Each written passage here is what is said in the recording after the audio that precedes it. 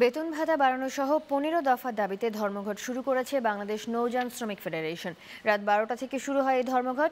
নৌযান ধর্মঘটের সংবাদ সংগ্রহে সদরঘাটে আছেন আমাদের রিপোর্টার ইব্রাহিম খলিল। তার কাছ থেকে আমরা জানব বিস্তারিত ধর্মঘটের কারণ সম্পর্কে। ইব্রাহিম ইব্রাহিম সদরঘাটের এখনকার কি অবস্থা? আর নৌযান ধর্মঘটটা কেন হলো? আপনি কি শ্রমিক নেতার সঙ্গে বা কোনো নেতার সঙ্গে কথা বলেছেন? কিছু জানতে পেরেছেন?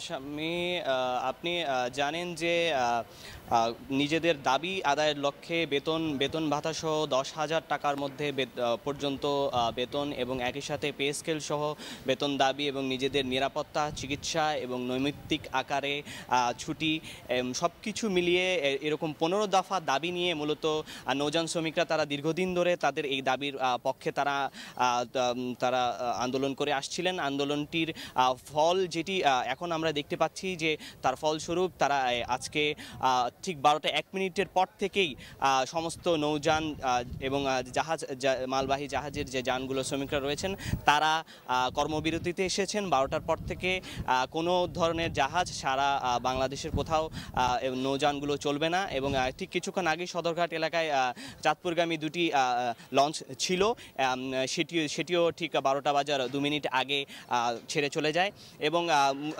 মূলত সকাল থেকেই কর্মবিরতির যে ছায়াটা সেটি সদরঘাটের এই জায়গাটিতে পড়বে বলে আশা করা যায়। কারণ সকালবেলা লঞ্চগুলো যেগুলো ছেড়ে গিয়েছে বাইরে থেকে আসার পর থেকে মূলত কর্মবিরতির যে মূল ব্যাপারটি সেটি শুরু হবে। তো আজ আজকে আমাদের সাথে এখানে যোগ দিয়েছেন নৌযান যে শ্রমিক ফেডারেশন রয়েছেন তার সভাপতি আহ, শাহ আমরা তার সাথে কথা বলব। এ ব্যাপারে যে ঠিক তাদের আন্দোলনের মূল দাবিগুলো কি কি রয়েছে এবং একই সাথে আহ, আহ, শাহ আলম ভাই আপনার কাছে আমরা যেটি জানতে চাই সেটি হচ্ছে যে আপনারা এই আন্দোলনটি কতদিন ধরে চালিয়ে যাবেন এবং আপনাদের মৌলিক দাবিগুলো আসলে কি কি? আমি আমরা দীর্ঘদিন যাবৎ সর্বনিম্ন মজুরি দশ হাজার টাকা নির্ধারণ সহ নৌযান শ্রমিকদের জাতীয় বেতন স্কেলের সাথে সামঞ্জস্য রেখে নৌযান শ্রমিকদের মজুরি নির্ধারণ নৌপথের ন্যায্যতা নৌপথে সন্ত্রাস, সাদাবাদী, ডাকাতি, বন্ধ নদী আপনার মেরিন আইনের সঠিক বাস্তবায়ন, সমুদ্র পরিবহন অধিদপ্তর এবং বিআইডব্লিউটি এর অনিয়ম অব্যবস্থাপনা দূর করা সহ পনেরো দফা দাবিতে আন্দোলন করছি। এবং দীর্ঘ তিন চার মাস যাবৎ অনেক লেখালেখির পরে এক পর্যায়ে আমরা জানুয়ারির ছাব্বিশ তারিখ থেকে ধর্মঘটের আহ্বান করেছিলাম। ওই সময় নৌপরিবহন মন্ত্রণালয়ের মন্ত্রীর সভাপতিত্বে নৌপরিবহন মন্ত্রণালয়ে ছাব্বিশ জানুয়ারি একটা ত্রিপক্ষীয় সভায় পরবর্তী তিরিশ কার্য দিবসের মধ্যে নৌযান শ্রমিকদের মজুরি নির্ধারণ সহ। এই দাবিগুলো নিষ্পত্তির প্রতিশ্রুতি দিয়ে একটা ত্রিপক্ষীয় সিদ্ধান্ত হয়েছিল। আমরা আশা করেছিলাম শান্তিপূর্ণ উপায়ে যাত্রী সাধারণকে দুর্ভোগে না ফেলে দেশকে অর্থনৈতিকভাবে ক্ষতির মধ্যে না ফেলে শ্রমিকদের সমস্যার সমাধান করা সম্ভব হবে। কিন্তু আমাদের মালিকদের অনমনীয়ভাবে অব- অবস্থার কারণে তিরিশ কার্য দিবসের স্থলে সত্তর কার্য দিবস অতিবাহিত হলেও এখনও পর্যন্ত আমরা সমস্যার সমাধানে আসতে পারিনি। গত দশই এপ্রিল আমরা সংবাদ সম্মেলনের মাধ্যমে আজকের এই কর্মসূচি ঘোষণা দিয়েছিলাম। আমাদের বিশ্বাস ছিল যে এই সময়ের মধ্যে আমরা শান্তিপূর্ণ উপায়ে টেবিলে বসে এই সমস্যার সমাধান করতে সক্ষম হব, কিন্তু আমাদের দুর্ভাগ্য সেটা আমরা পারিনি। আজকে নৌপরিবহন মন্ত্রণালয়ের মন- মাননীয় মন্ত্রীর নেতৃত্বে বিআইডব্লিউটি সম্মেলন কক্ষে সকাল দশটা থেকে রাত সাড়ে আটটা পর্যন্ত। লাগাতার দীর্ঘ প্রায় দশ ঘণ্টা মিটিং করেও মালিকদের অনমনীয়তার কারণে আমরা সমস্যার সমাধানে যেতে ব্যর্থ হয়েছি এবং আমাদের আমাদেরকে বাধ্য হয়েই এই আমাদের ইচ্ছ- অনিচ্ছা সত্ত্বেও এই কর্মসূচিতে যেতে বাধ্য হয়েছি।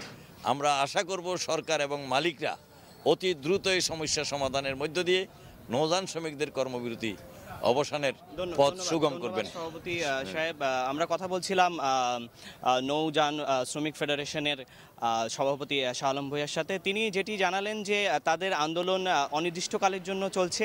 এটি কবে শেষ হবে তার তার কোনো নির্দিষ্ট সীমা তাদের জানা নেই। সরকারের পক্ষ থেকে তাদের দাবি মানার যদি কোনো সম্ভাবনা দেখা দেয় তাহলে তারা আলোচনার টেবিলে বসতে রাজি আছেন। আলোচনার মাধ্যমে সমস্ত সমাধান সমস্ত সমস্যার এবং দাবির সমাধান হবে, এটাই তারা আশা করেন এবং তারা আরও আশা করেন, এখন মালিকরা যে অনমনীয় আচরণটি করছেন, সেই অনমনীয় আচরণ ক্ষেত্রে তারা শিথিল হবে এবং তারা শ্রমিকদের যে ন্যায্য দাবি মজুরি বাড়ানোর ক্ষেত্রে এবং একই সাথে পে স্কেল নির্ধারণের ক্ষেত্রে এবং তাদের চিকিৎসা সহ মৌলিক যে দাবিগুলো সেগুলো পূরণের ক্ষেত্রে মালিকরা এগিয়ে আসবে। একই সাথে সরকারের সাথে বসে তারা অতি দ্রুত সমস্যার সমাধান করতে পারবেন, এটাই তারা আশা করেন। তারাও চান না যাত্রীরা কোনো প্রকার দুর্ভোগে পড়ুক, যাত্রীদের দুর্ভোগের ফলে আহ, কোনো ধরনের অচল অবস্থার সৃষ্টি হোক। তো স্বামী এই ছিল আমার কাছে সর্বশেষ যেটি যে এখনও অবরোধ শুরু হয়ে গেছে এবং নৌ নৌ শ্রমিকদের অবরোধের ফলে সদরঘাট পুরোপুরি ফাঁকা রয়েছে এবং এটি অনির্দিষ্টকালের জন্য চলছে। স্বামী। ইব্রাহিম আপনাকে ধন্যবাদ। দর্শক আমরা কথা বলছিলাম আমাদের সহকর্মী ইব্রাহিম খলিলের সঙ্গে। তিনি সদরঘাট থেকে আমাদের নৌযান ধর্মঘট সম্পর্কে বিস্তারিত জানাচ্ছিলেন।